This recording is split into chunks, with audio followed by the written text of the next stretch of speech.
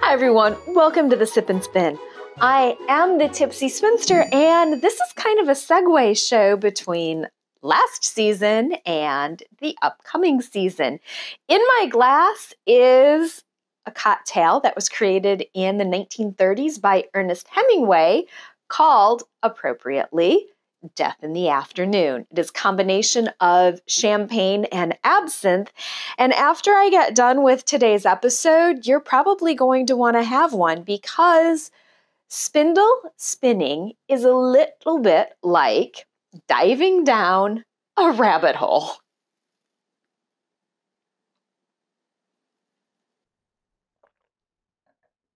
Okay, so today's show is all about spindle spinning. There are two types of spindle spinning there is support spinning, and there is drop spindle spinning. These are two, two schools. However, there is, of course, some crossover. And I have only been support spinning for a little over a year. So this show is a little bit like a revisit. I wanted to go back and I wanted to bridge some gaps and I wanted to share some of the things that I've learned as I've continued exploring the idea of spindle spinning. Say, see, it's kind of like a sobriety check. If I can still say spindle spinning, I haven't consumed enough cocktails. So, let's back up a little bit. Traditionally, spinning started when somebody a very, very long time ago realized that if you put twist into either plant or animal fiber, you were going to create a stronger yarn. You're going to create a stronger product. And so spinning was invented, followed very closely by weaving. And I've discovered day dresses, which are very simple to make. And I would encourage you to check out many of the day dress patterns that are out there because, gosh, it's kind of like the yoga pants of the modern age. I think as we move forward through this century, more of us might be finding ourselves wearing day dresses because, gosh, they're comfy. Okay, so here we go. Initially, all you need to spin yarn is a stick a tool, something that's going to put twist in the fiber. And you, this is, uh, I think this might actually be a meat skewer that you would use like in a turkey, but it has a crook on the top. And so the fiber that I'm going to be practicing with today is a hodgepodge.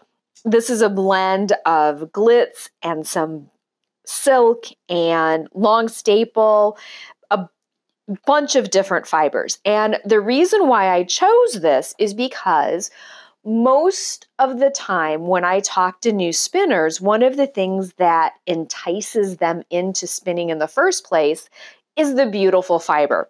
So I picked beautiful fiber to play with. And to get started, the idea of just spinning is you're putting twist in the fiber you have this this sweet spot right here. Your your drafting zone and that's where you're going to be pulling out from. And of course you're always going to hold very loosely. Basically all i'm doing back here is keeping the fiber from moving forward too quickly. And i'm just putting in twist. And you can actually the nice thing with a, a crook style is you can actually see the twist moving up the drafting zone, just like so. So now I essentially have my leader, which I'm going to be using a little bit later. There are many different styles of this crook style spindle. So this is a stick that's made with bamboo. It functions the same way. When I get started, I'm actually going to wrap this around a little bit. And my crook, which essentially will eventually translate into a hook, holds the fiber as I draft out.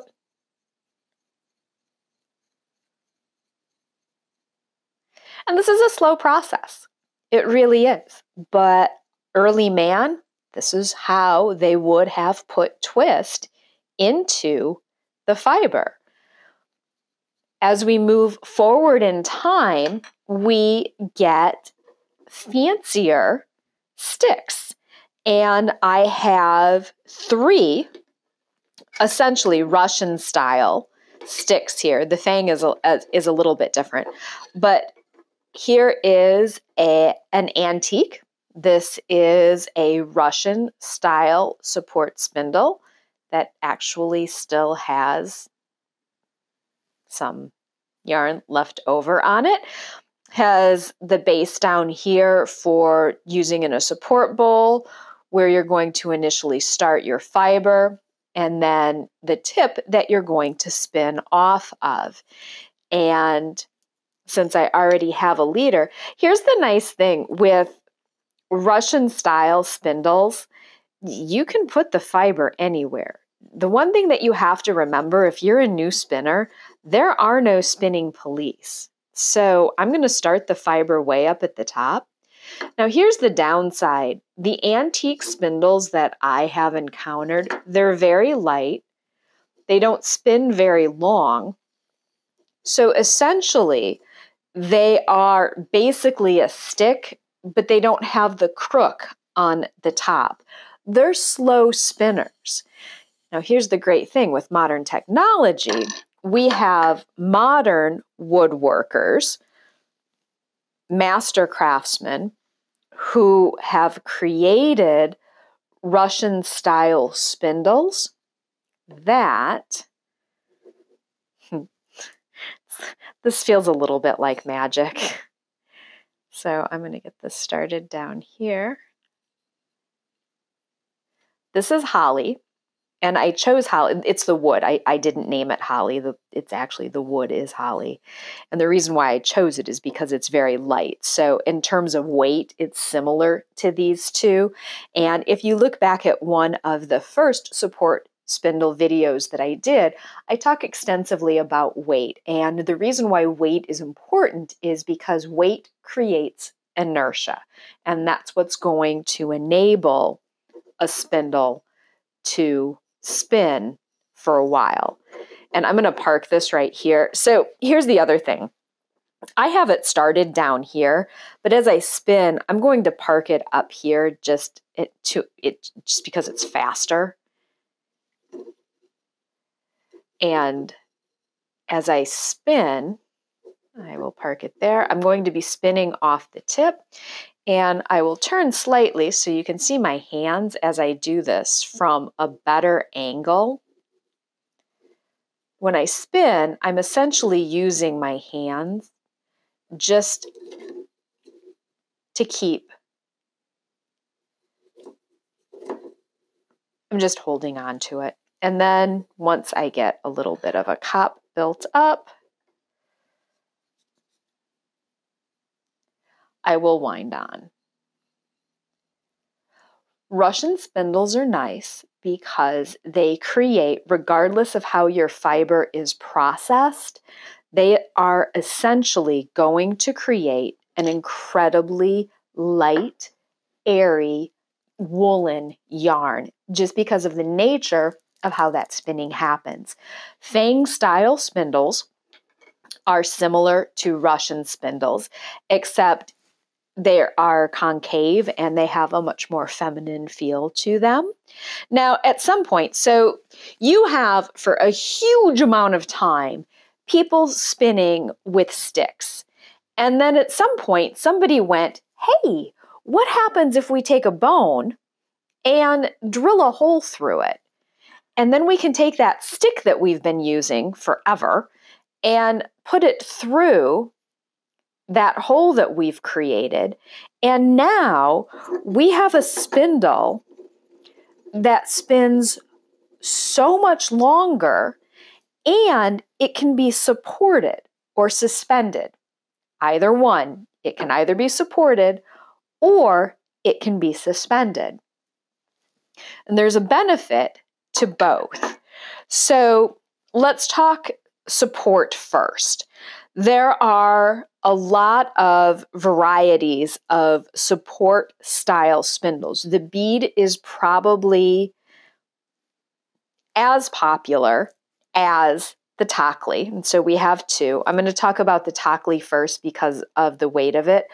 Takli spindles are generally used when spinning cotton. It is a bottom whorl, which means the whorl sits at the bottom. It's a support spindle, so there's a point here. They either can have a hook at the top or not.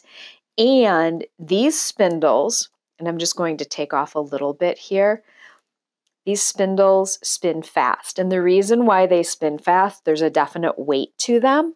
They need to spin fast because cotton requires higher twist than wool.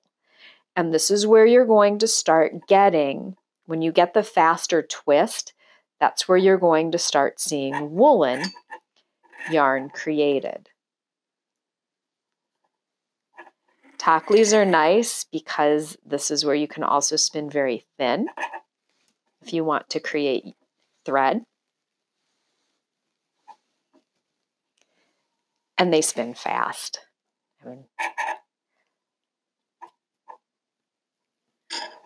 So I'm spinning fast and I'm spinning very fine with a Takli, primarily used for cotton. Bead spindles are the same, and the, here are two styles. These are both Spanish peacock. One is a complete bead. The other is a hollowed out bead or a ninja. And this is one of those things where I've never actually timed twist how how long they spin consecutively. The bead spins for a very long time. However, this little guy will spin forever and ever and ever and ever. And what does that mean? Well, here's the benefit. If you've got a spindle that's going to spin for a very long time, the really nice thing with that is it gives you a long time to work with your yarn. So here, the nice thing when if you've got a ninja or a bead spindle that spins fast, I'm supporting it with my ring finger and the energy is building up, but it's giving me time to work in my drafting zone. And again, you can see my drafting zone is still right here. I'm going to pull some fiber out, get the twist going. And the nice thing with the support spindle is it's supported. It's not going to go anywhere. So I have time to work with my fiber up here. Whereas when you get to a drop spindle, right here. And while these are so popular and historically accurate, the downside to a drop spindle is it's hanging, it's using gravity. And if you're not careful, that spindle's going to fall. Whereas some of these, like this one, it has a stone whorl on the top. I like it has an incredibly pointed bottom, which means I can use this even though it's a drop spindle, I can still use it as a support spindle to get started. And as a new spinner, I realized this was a game changer for me because I needed the support before I moved off the table and let it hang and do its job as a drop spindle. So, having something that is going to give you the option to start supported and move drop opened up a whole new world for me. And that's where I discovered the Tibetans and some of these other spindles that this is a Kromski that either functions as a top whorl or a bottom whorl. And the novelty spindles. And I think as I've moved through the spindle pantheon, some of the novelty spindles have been as fun to discover as the more traditional. So, this is a handmade, it's made with a wheel and a dowel and a hook. And a reminder that S twist goes that way and Z twist goes this way. And Z twist is traditionally what we do as a single. It can either be a top or a bottom whorl. It's very lightweight, so it's not going to spin for very long, but it's functional. And then we also have these tiny, cute little lollipops. This is a top whorl drop spindle, and I can get the fiber going. It's not going to spin for very long because it is lightweight, but as a novelty, it, it still functions really well. And it, it has what I would call a small footprint. So I can spin over a table and I have this very small range of motion, which again kind of is a security feature. Something small like this as a new spinner. I don't know. There's something about having a small footprint as a new spinner. It's really nice because I know if it drops, it's not going to go very far and it's not going to be damaged. Then we also have other novelty spindles such as the ones that are computer generated. This is, is a dowel rod and the TARDIS. And it actually spins for quite a while as well. And it does have a small footprint also. And then you have additional historic spindles. One being the Dealgan, which is a Scottish spindle, which is kind of nice. I featured this on my Worldwide Spin and public day. The nice thing with a Dealgan is that it's completely drop spindle. You just put the half hitch up at the top, and hopefully it'll stay. Half hitch up at the top. Wait, oh, you do need to use your cross down at the bottom. Oops. So you use your cross, half hitch up at the top, like so, and then you can spin. And as you're winding on, this is essentially a nostepinne. So you're creating a ball as you make your yarn. And I have it started right there. So when I slide this off, I will have a center pull ball. Along those same lines, we have Turkish spindles.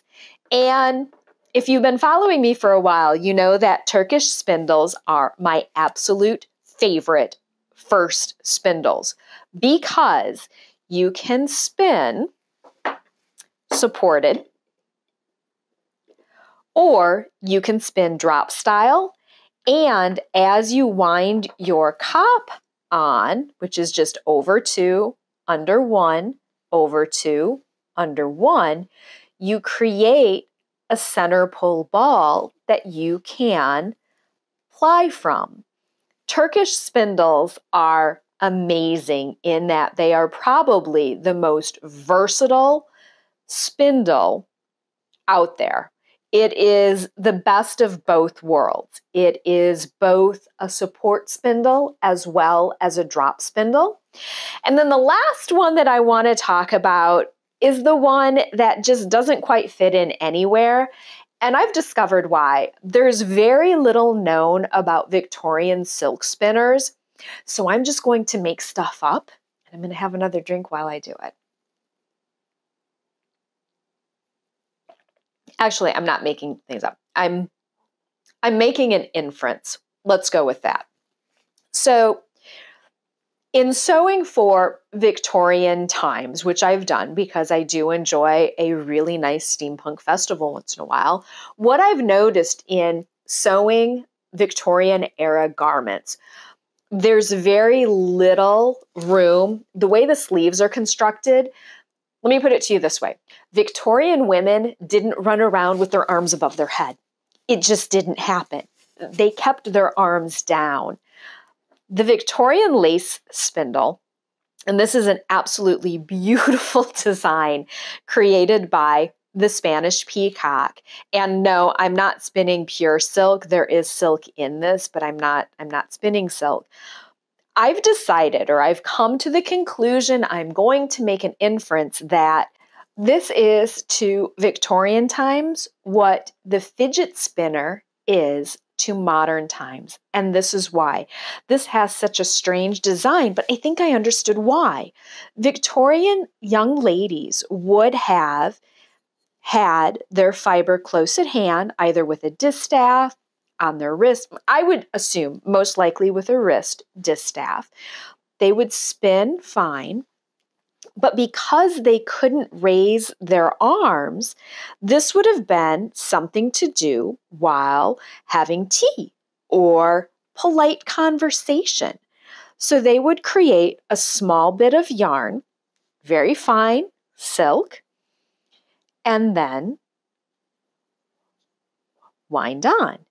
So this this essentially harkens back to the Russian style spindles because what you're essentially doing is using a stick to create very fine yarn and you're doing so in, in, in a rather tight box or rather tight quarters.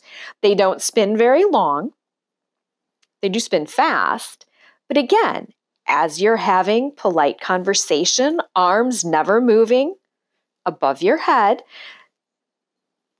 which the spindle just simply doesn't allow because of the nature of the design, you are creating this beautiful fine yarn in a very tight space.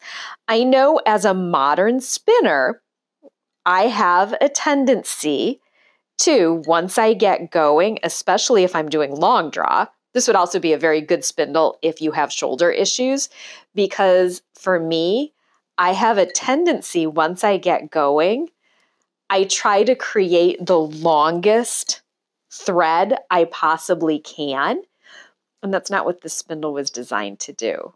So I realized as I was going out that it would stop before I could get this like down to the ground thing. And that's when I started thinking about it. This design was designed for a very small window. A Victorian lady would never spin with her arms all over the place. A proper Victorian lady would keep her spindle close at hand, having tea and conversation. And it would be something to do. If you were living in Victorian times and you didn't crochet, didn't needlepoint, didn't knit, didn't want to do any of those things, this tool could have kept your hands busy while you were still carrying on polite conversation. And it's compact enough that when it was time to go home, you could simply put it in pocket or bag and you'd be ready to go.